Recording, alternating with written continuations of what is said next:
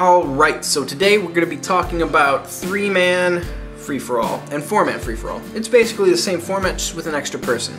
Let's talk about why this deck is the best.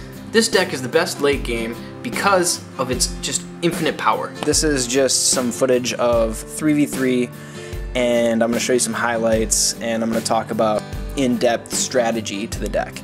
First thing I did, took out the counter spells, because early game I didn't want to piss an aggro deck off by countering one of their spells and have them attack me instead of the other person.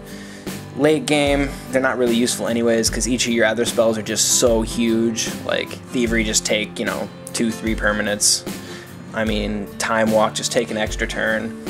Uh, Panoptic Mirror into Call to Mind into anything. I mean, just every single card in your deck is so powerful. Alright, so what we're doing here is you see this aggro deck swings at me a few times, and then like they're kind of targeting me. He's like making me discard, the other guy's attacking me. They're kind of teaming up on me. So really it's 2v1, which is fine because they're going really slow and the other guy isn't really ballsy enough to swing in on me, which is fine, but I'm about to take off here pretty quick. And since these guys are so newbie, they haven't milled their decks down to 60, they don't know what I'm about to do because they don't understand the, the format. But what I'm about to do is drop out Time Warp, put an extra mana down for free pretty much. It's like it's like a green Rampant Growth except it's blue and it's late game. And it also combos with every other card that you have. So whenever I draw a time warp, I take I use it right away. No reason not to in my mind. Like it's the best spell in the deck by far.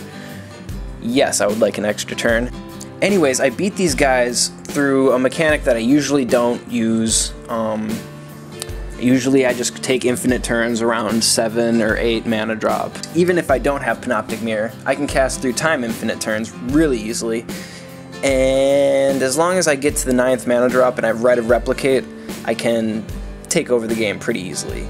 So there's so many combos that work with Time Walk, and there, there's so much that they, they just can't do. They just can't do anything. How I make this combo execute is I Bribery, Twincast into the Soldier guy, and then I kick Rite of Replicate it and swing for their life total both times, and they just don't have enough strength in their deck to compete with that. And even if they did have enough strength to compete with that, I could just use my other win condition, taking infinite turns, and then eventually they wouldn't have strength to deal with that. So for an overall win-loss record, I'd say it probably played 30 or 40 matches, and I've lost two.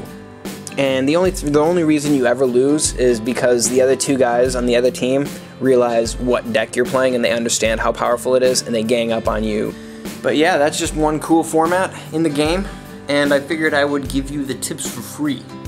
And I'm not charging this time.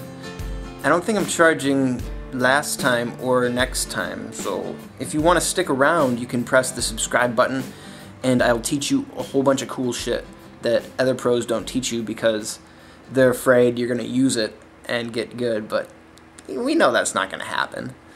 Alright guys, keep it real, keep gaming.